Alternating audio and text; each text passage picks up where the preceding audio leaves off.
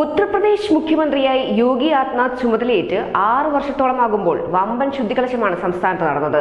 സ്ത്രീ സുരക്ഷ മുഖ്യമന്ത്രിയുടെ പ്രഥമ വാഗ്ദാനമായിരുന്നു. ഗുണ്ടകളെയും സാമൂഹിക വിരുദ്ധരെയും കാരണം പൊറുതിമുട്ടിയിരുന്ന യു പിക്കാർക്ക് ഇന്ന് സ്വാതന്ത്ര്യത്തോടെ അർദ്ധരാത്രിയും സഞ്ചരിക്കാം.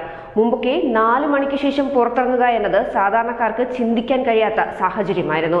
എന്നാൽ യോഗി അധികാരം ഏറ്റെടുത്തതോടെ കാര്യങ്ങൾ മാറി. ക്രമസമാധാന നില തകർക്കുന്നവർ വെടിയേറ്റു വീണു. പലരും ആയുധം വെച്ച് കീഴടങ്ങി. മാഫിയകളെ തച്ചുടച്ചു. കയ്യേറ്റങ്ങളെല്ലാം ബുൾഡോസറുകൾ ഉപയോഗിച്ച് ഇടിച്ചു നിരത്തി. കോടികൾ വിലമതിക്കുന്ന സ്ഥലങ്ങളാണ് സർക്കാർ തിരിച്ചുപിടിച്ചതും. ഇപ്പോൾ മാഫിയക്കെതിരെ മുഖ്യമന്ത്രി യോഗി ആദിത്യനാഥ് സഭയിൽ നടത്തിയ പരാമർശം സാമൂഹിക മാധ്യമങ്ങളിൽ വമ്പൻ ഹിറ്റായിരിക്കുകയാണ്. സംസ്ഥാനത്തെ മാഫിയ കൂട്ടുകെട്ടിനെ ഒന്നടങ്കം നശിപ്പിക്കുമെന്ന മുഖ്യമന്ത്രി യോഗി ആദിത്യനാഥിന്റെ പരാമർശം ഏറ്റെടുത്ത് സാമൂഹിക മാധ്യമ ലോകം.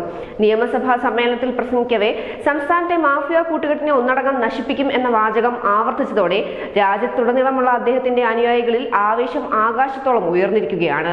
മാഫിയക്കെതിരായ മുഖ്യമന്ത്രിയുടെ പ്രചാരണത്തെ പിന്തുണയ്ക്കുന്ന മൂന്ന് ഹാഷ്ടാഗുകൾ ട്വിറ്ററിൽ ട്രെൻഡ് ചെയ്തതായി ഔദ്യോഗിക വൃത്തങ്ങൾ അറിയിച്ചു. Hashtag Yogi means governance hashtag Yogi Adityanath hashtag Yogi surgical strike എന്നിവ ഒരേ സമയം ട്വിറ്ററിൽ ട്രെൻഡിംഗ് ആയി മാറിയിരിക്കുകയാണ്. ഹാഷ്ടാഗ് യോഗി ആദിത്യനാഥ് മുപ്പത്തിമൂന്ന് കോടി ട്രെൻഡിംഗിൽ കുതിക്കുകയും അതേസമയം യോഗി മീൻസ് ഗവർണൻസ് അറുപത്തഞ്ച് കോടി ട്രെൻഡിംഗിൽ കടക്കുകയും ചെയ്തു. സംസ്ഥാനത്തെ ക്രിമിനലുകളെയും മാഫിയകളെയും പോറ്റി വളർത്തുന്നതിനും സംരക്ഷിക്കുന്നതിനും സമാജ്വാദി പാർട്ടി മുന്നിൽ നിൽക്കുകയായിരുന്നെന്നും അഖിലേഷ് യാദവിന്റെ ഭരണകാലത്ത് മാഫിയെ മഹത്വവൽക്കരിക്കുക മാത്രമല്ല അവരെ പുഷ്പങ്ങൾ കൊണ്ട് ഹാരമണിക്കുകയും ചെയ്തിരുന്നുവെന്ന് മുഖ്യമന്ത്രി ആഞ്ഞടിച്ചു. പ്രേക്ഷകർക്ക് കാണാനായി യോഗിയുടെ പ്രസംഗത്തിന്റെ വീഡിയോ ലിങ്ക് ഡിസ്ക്രിപ്ഷനിൽ നൽകിയിട്ടുണ്ട്. News desk news day Malayalam.